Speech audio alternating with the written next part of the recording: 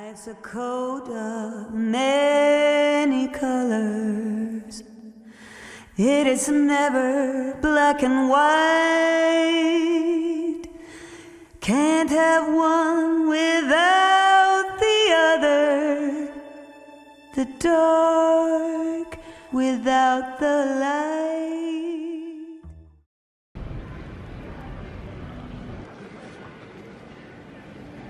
Okay. I it in. I'll call you. I love you too. I'll call you when I get. Okay. Hang it in front, bring it around your waist, and insert the end into the clasp. To tighten, pull outward on the They gave, so they gave us all uh, vouchers for to buy stuff on the plane or at or, or um,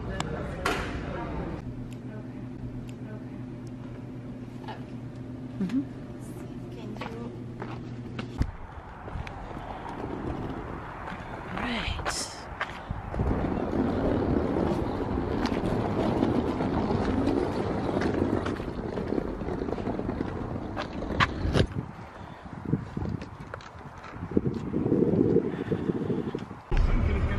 All right, y'all.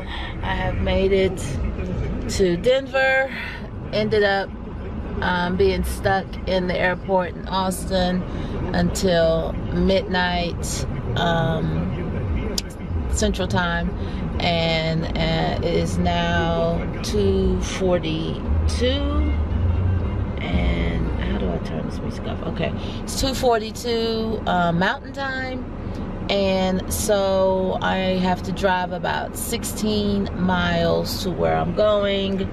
Um, I'm tired, tired, boss. I'm tired, but it's okay because I'm here and I'm gonna um, be up bright and early because I have a my calls start tomorrow. Um, and trying to do the time 10 a.m. 10 a.m. So yeah, I'm gonna go catch some sleep, and then I'll be up and ready to um, ready to work tomorrow. And I gotta find somewhere to work outside. So I'm gonna go ahead and turn this off because um, I have never driven in Colorado. I normally, you know, Uber or catch the the bus. They have a great public transportation system here in Denver, um, but I am driving myself because the conference is actually about 40 miles away from where I'm staying. I opted to stay closer to the airport. That way I know my butt won't miss my flight or have less likelihood of missing the flight because I've been known to miss, you know, one or two. So, all right, I will see you guys tomorrow. Hey everyone, um, it's the next morning. I have gotten up, fixed me some coffee, um, have started working. It is cold outside, so I'm actually going to knock out a few calls. I start in about 15 minutes um, with my calls, and so I'm going to do all that in here. Y'all, my night last night, oh my gosh. So, got a flat tire. Um, they took forever to get here. Didn't get in until about four o'clock um, Mountain Time. So it's four o'clock Mountain Time, which is six o'clock. I think it's six o'clock Eastern Standard Time, which is what I operate on. so it was so late. I was so tired because um, I didn't sleep well on the plane because I lost my, I left my neck pillow and one of my favorite scarves at an airport, the airport in, um, I think I left it at the airport in Raleigh at RDU. So I'm gonna check with Lost and Found when I get back. And yeah, it was it was an eventful evening, but overall, I am fortunate. I am blessed. I am here. I am happy. I am up. Um, woke up with all faculties.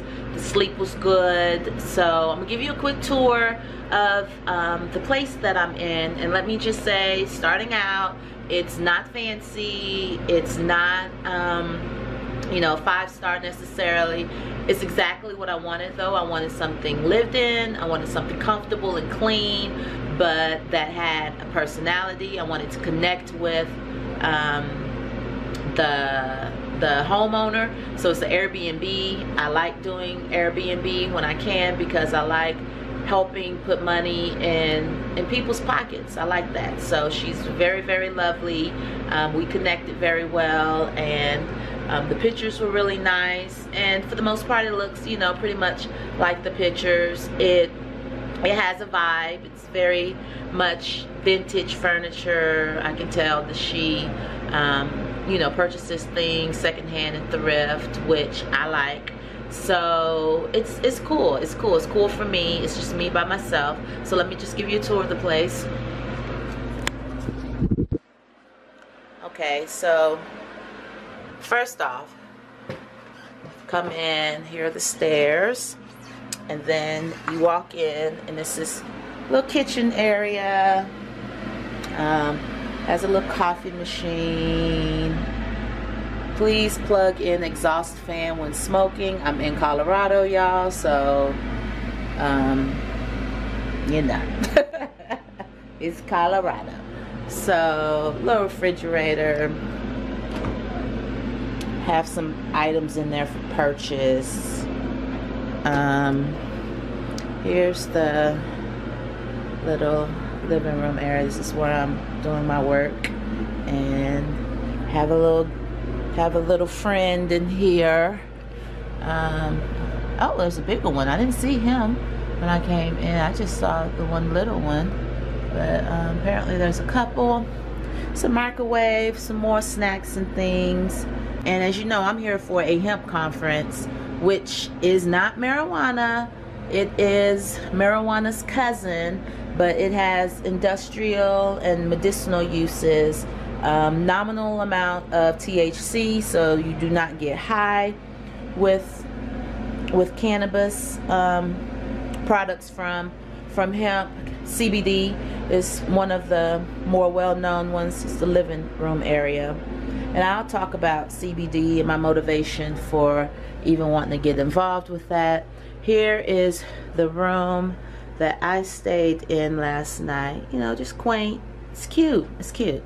Um, it's a few pieces in here. Look at my junky suitcase. I haven't put anything up. and then down this way, walk by the bathroom, is another little bedroom. So cute. She had little chocolates. Um, another little bedroom had had anyone else been with me and then the bathroom which is tiny so you see my stuff everywhere. A little shower right there. So yeah, it's cute. It's cute. And I am casual for the day, okay? I am here to learn. So I might, I'm probably gonna change this, this top because these grays are really different. Or I might not I don't care. Um, so yeah I just got on some le some leggings.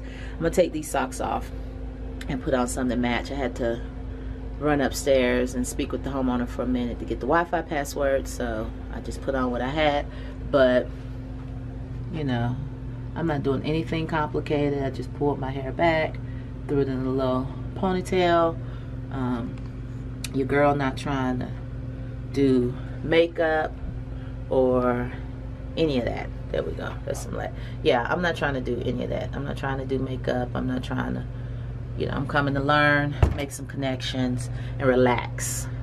So, let's see, I have it for from a Thursday to a Monday, and I paid 389 389 and then my tickets to get here were only like $200 because I flew Frontier for the first time um, so Frontier for it to be my first time flying with you, for you to have an emergency landing, I'm just saying.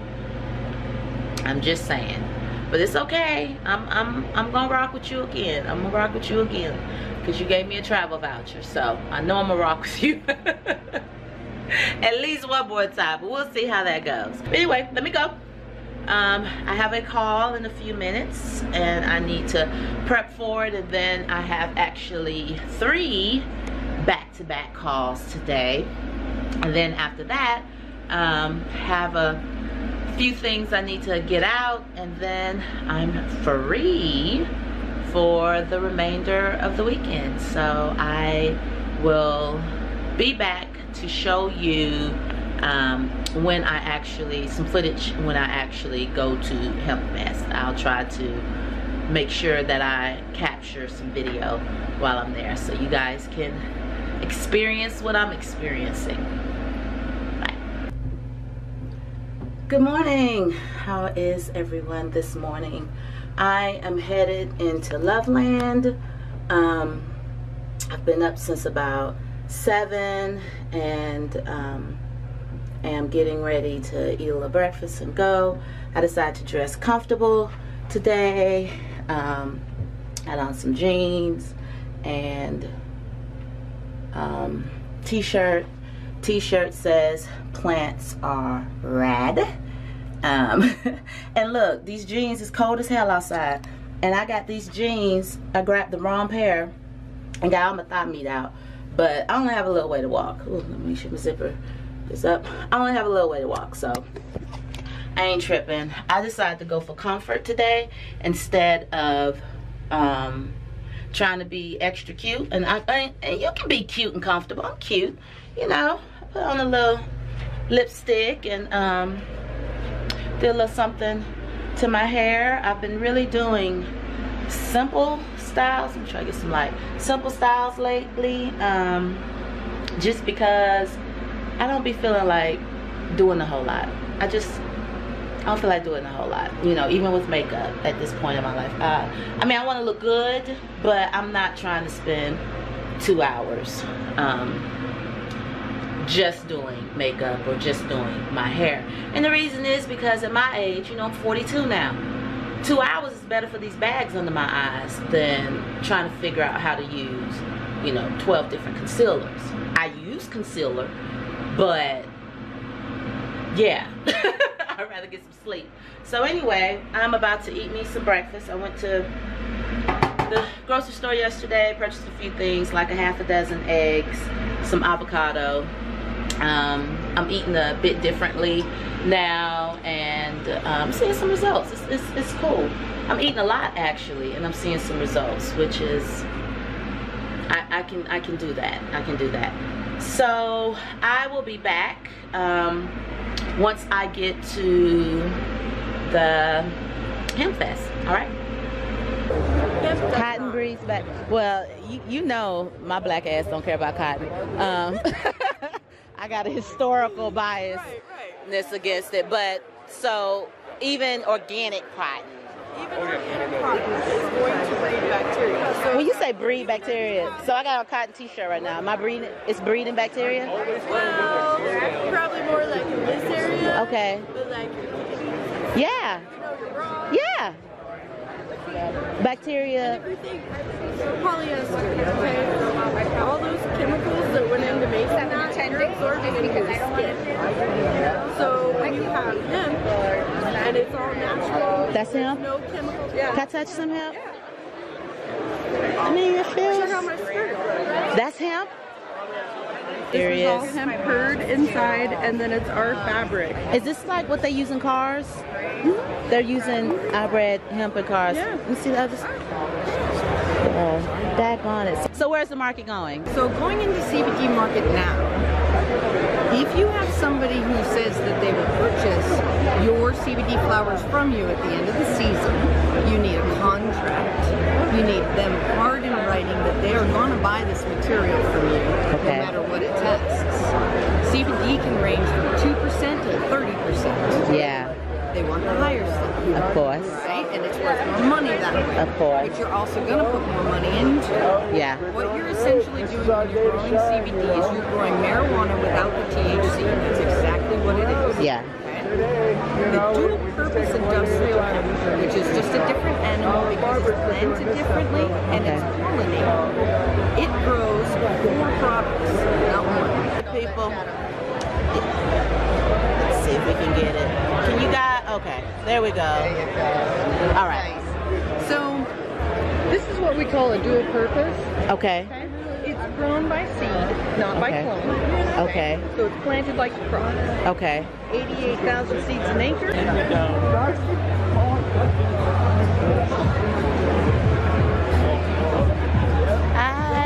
Going well. Trying to find my ginger compadre. How you doing I'm great. Y'all need me to model one of y'all t-shirts.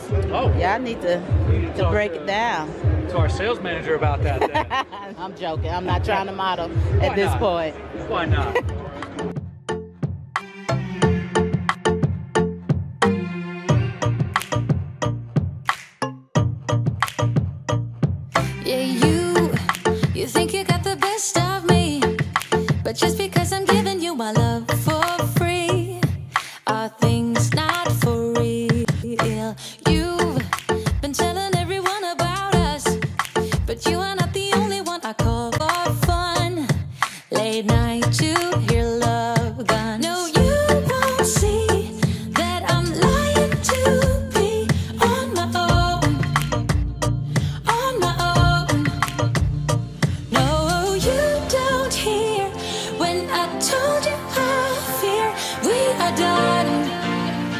That we are done.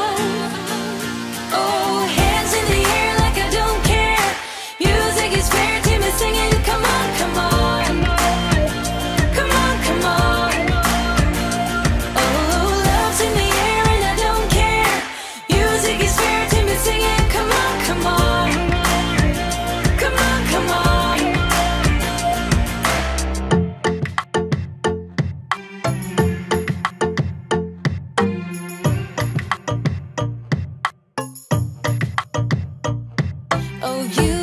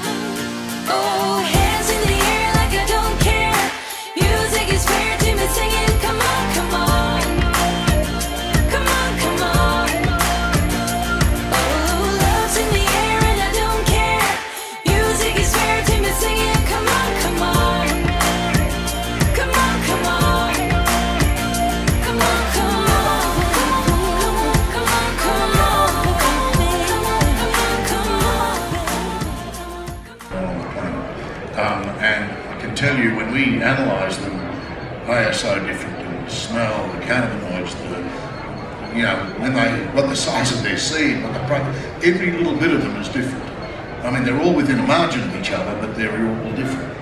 Um, so getting the right varieties and getting the right yield and being competitive in the field is number one. Uh, number two is then having the capacity to take it off and get it to, to trade to, to anybody else so that it's coming in at the right price so it's competitive with Talk about hemp seed nutritional profile, fueling your athletes on the back end.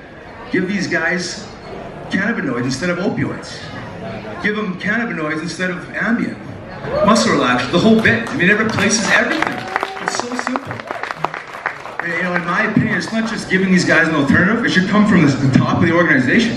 The general manager invests in these players, invest in your, you know, you invest in these guys for long-term sustainable health. So why not prevent injuries best you can? as with regard to those substances. Um, so, enough of me talking. I'd, I'd love it if these guys would each introduce themselves and talk a little bit about their football careers and, um, in particular, their use of cannabis or CBD before, during, and after their careers and how that's helped them.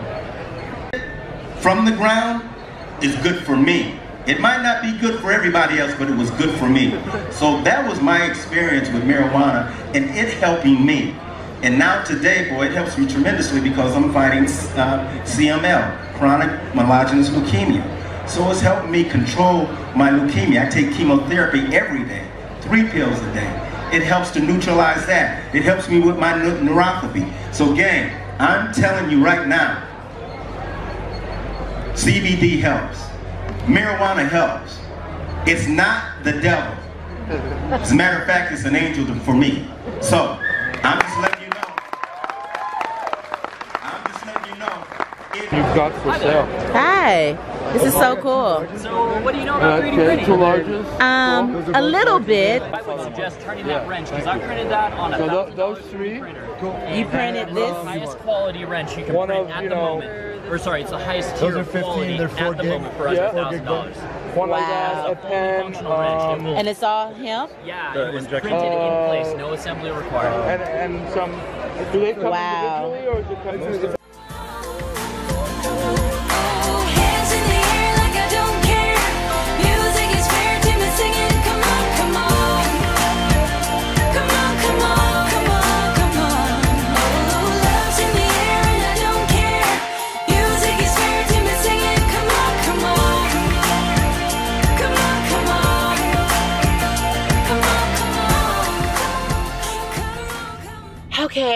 everybody. I am done with um, NOCO 5. NOCO 5. Let me see. What is this? It's a hemp expo. So it's not a conference. Um, it is an expo. But they did have a farm symposium where you could learn a lot as well. And oh my God, my head is reeling. I learned so much. Oh my gosh, I'm excited. Um, so much good stuff. So now I am going to I'm going to thrift here in Colorado.